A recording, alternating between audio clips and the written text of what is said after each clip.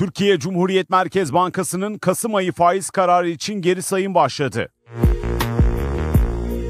Merkez Bankası Para Politikası Kurulu'nun faiz kararı Merkez Bankası Başkanı Doktor Fatih Karahan tarafından duyurulacak. Piyasalar gözünü açıklanacak o verilere çevirdi. Merkez Bankası politika faizini Mart ayında %50'ye yükseltti ardından 7 ay boyunca sabit tuttu. Ekonomistler politika faizinin Kasım'da da %50'de sabit bırakılacağını tahmin ediyor.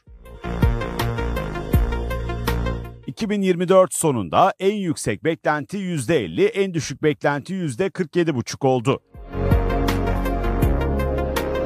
Ekonomistler Merkez Bankası'nın ilk faiz indirimi için Aralık ayına işaret ediyor.